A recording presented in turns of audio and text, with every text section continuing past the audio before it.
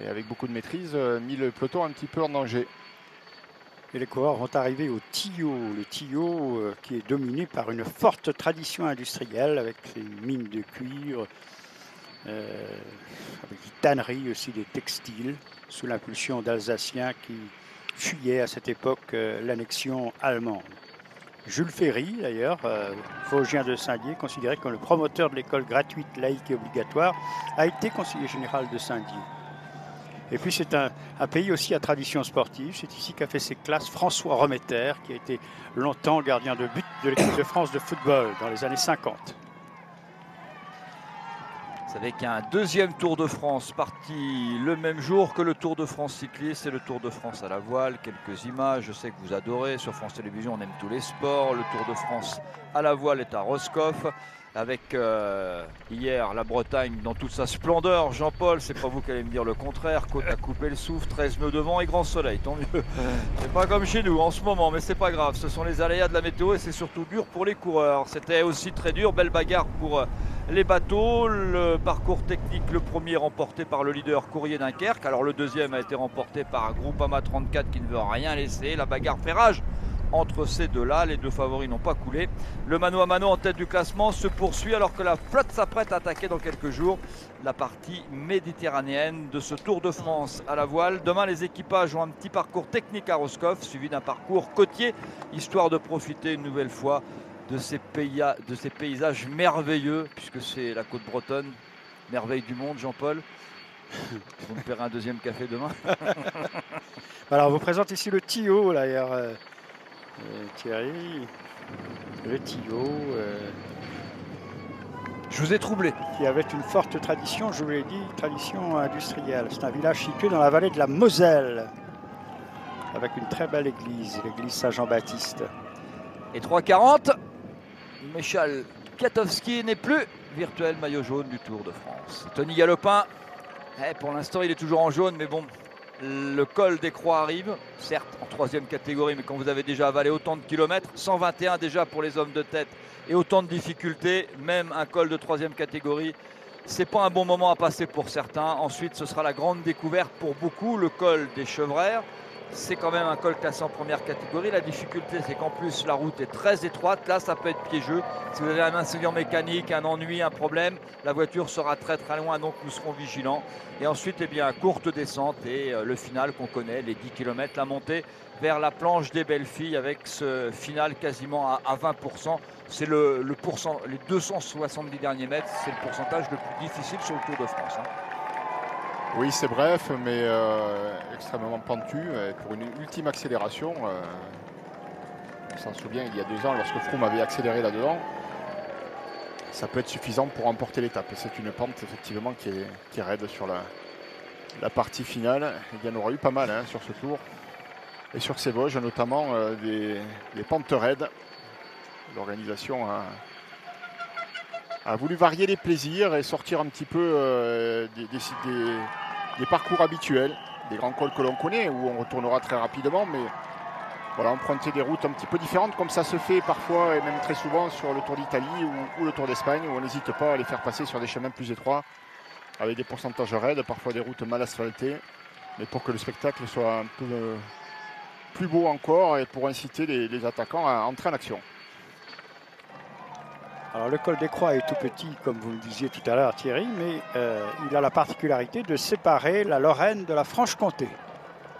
Et bonne nouvelle Cédric Vasseur, la route est sèche et il ne pleut plus. Alors c'était pas évident tout à l'heure lorsqu'on a pris l'antenne, vous avez même pris des halbards sur, sur la tête, sur le casque tout à l'heure. Ouf, ouf, ouf, c'est quand même mieux comme ça pour les coureurs surtout ouf, c'est mieux comme ça, comme cela, mais attention, hein, regardez autour, de, autour des coureurs, les nuages sont toujours bas et nous ne sommes pas à l'abri d'une averse et les coureurs, les hommes de tête se trouvent effectivement dans l'ascension du, col des, des, Croix. Alors, vous parliez tout à l'heure d'une avance qui a légèrement baissé et la raison est simple, c'est que si Tony Martin, puisque c'est le seul à rouler dans cette échappée, avait un vent plutôt favorable. Il a eu, avant de se présenter au pied de sa difficulté, un vent qui a tourné, qui est devenu défavorable. Et ça l'a probablement fait perdre quelques secondes par rapport à un peloton qui est lui plus organisé, avec des coureurs qui se relaient en tête de, peloton. Oui, il commence à coincer un peu. hein. Tony Martin aussi, on l'a vu euh, très souvent faire des exercices d'étirement. Il a mal au dos. euh, voilà, on sent que l'étape d'hier est là. Celle d'aujourd'hui, ben, euh, il n'a pas eu beaucoup de temps de répit. Euh, C'est la preuve qu'hier, il était très fort. Mais ça, on l'a vu. Aujourd'hui, il est- il l'est toujours, mais euh, ça s'accumule. Voilà, il a forcément, à force d'amener des grands braquets comme ça, il commence à accuser la fatigue. C'est normal. Et donc, il est moins efficace, tout simplement, que les coéquipiers de Vincenzo Nibali et ceux de Tony Galopin qui font cause commune pour l'instant. Voilà, on évoquait hier hein, ces coalitions, en tout cas ces alliés de circonstances dont pouvait bénéficier Vincenzo Nibali en, laissant filer le maillot jaune. On en a une illustration aujourd'hui. Les coéquipiers de Galopin, même s'ils ne sont pas d'excellents grimpeurs, se sont sublimés aujourd'hui dans la première partie pour euh, contrôler ce maillot jaune, ce peloton. Et euh, ils le font à nouveau avant d'entamer les, deux dernières difficultés. Ça leur sera à nouveau plus compliqué, mais euh, ils ont fait ce qu'ils pouvaient en tout cas pour essayer de défendre euh, honorablement ce maillot jaune de Tony Galopin.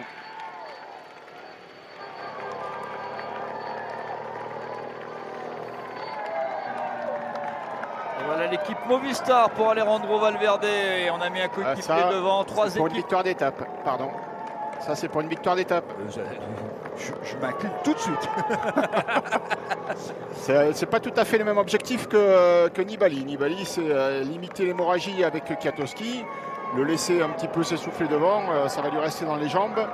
Galopin, c'est un petit peu la même euh, histoire, euh, essayer de conserver son maillot jaune en laissant Nibali à, moins de 4 minutes, c'est jouable pour cette fois-là. Les Movistar qui passent à l'avant, c'est clairement pour revenir et peut-être permettre à, à Valverde d'aller chercher la gagne.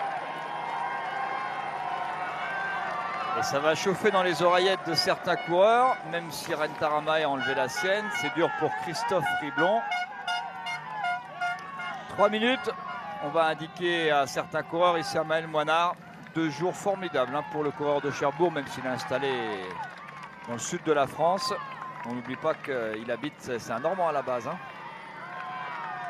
Je sais qu'on est attaché à tout ça dans, dans diverses régions. On aime bien parler de ces coureurs là où ils sont nés, là où ils ont appris le vélo, là où ils ont été formés. D'ailleurs, souvent, ils restent attachés à, à leur club hein, d'origine où ils sont licenciés parce que tous les coureurs professionnels appartiennent et sont payés par une équipe professionnelle, par un partenaire, par un sponsor, mais euh, ils sont toujours licenciés dans un club à la Fédération française de cyclisme. Ce qui me fait penser à plusieurs choses en même temps.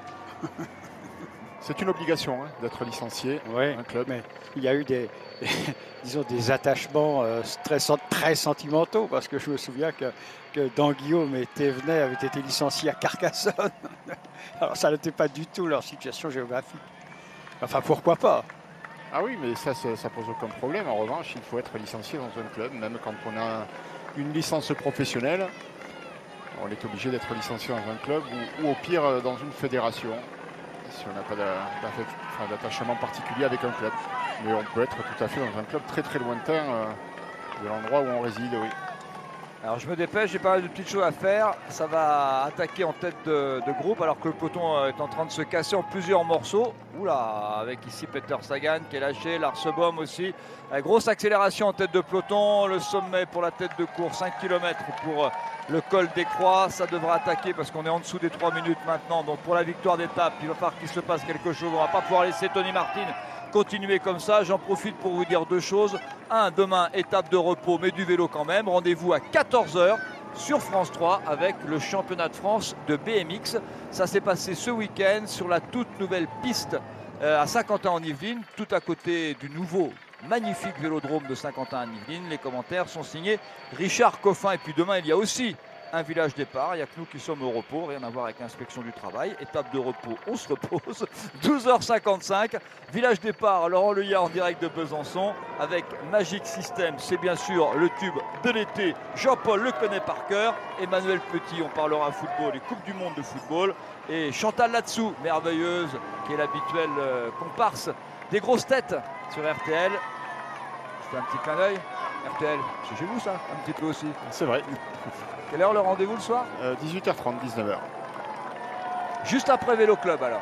Absolument. Écoutez Vélo Club et Dans vous avez le droit d'écouter Laurent Jalabert sur RTL. En plus, l'émission est très très bien.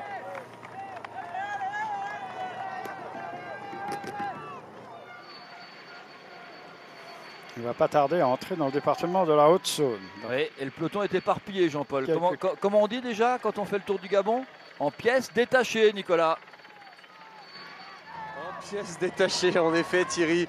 On vient d'annoncer euh, euh, Fabian Cancellara distancé. Il y a Mantaguti, euh, le coureur de l'équipe AG2R, la mondiale. Michel Char pour, euh, la BMC. Mathieu Ladanius, après avoir, fait son travail.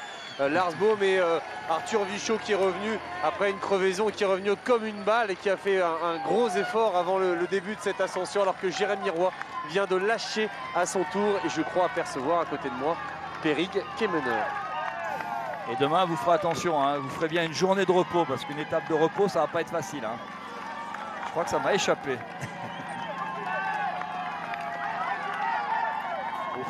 Ça peut se défendre aussi. Une étape, on fait étape, on est au repos. mais Voilà. c'est- très français. Merci de m'aider, Jean-Paul. C'est très français. C'est les moins dures, celles-là. Ah ouais, mais c'est c'est très français. Allez, on arrive au sommet de cette côte de troisième catégorie. Rien à voir avec tout à l'heure, même si le classement est le même. Rodriguez devant Vauclair. Pas d'engagement à 100% ici au sommet. On est passé dans l'ordre pratiquement. Voilà, juste une petite accélération pour s'assurer de passer devant Tony Martin. Et Rodriguez empoche deux points supplémentaires. 41 points donc euh, pour Rodriguez et un point supplémentaire pour Vauclair. 33. Il est deuxième pour l'instant dans ce classement.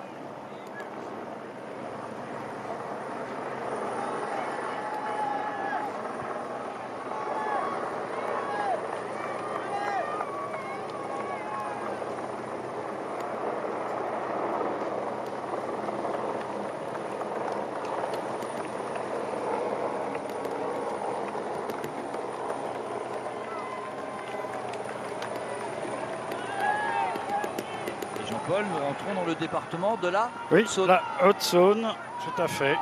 Avec euh, le plateau des Mille étangs que nous allons pouvoir apercevoir tout à l'heure. C'est un département qui possède un riche patrimoine. Je vous préviens, on les compte. hein. Les Mille étangs, oui. un riche département qui, notamment, euh, s'est construit un peu au 18e et 19e siècle.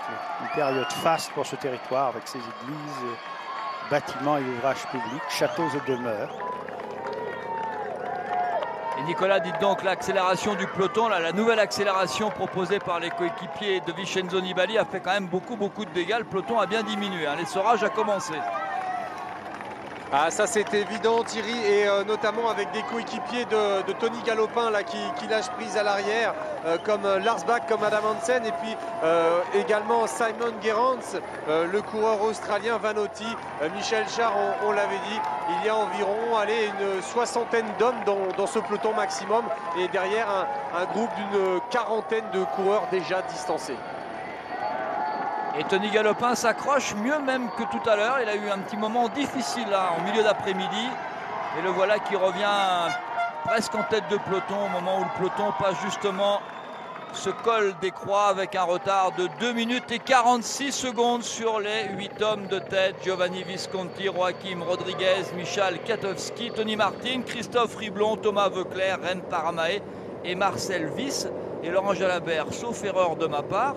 Alors 128 km d'échappée.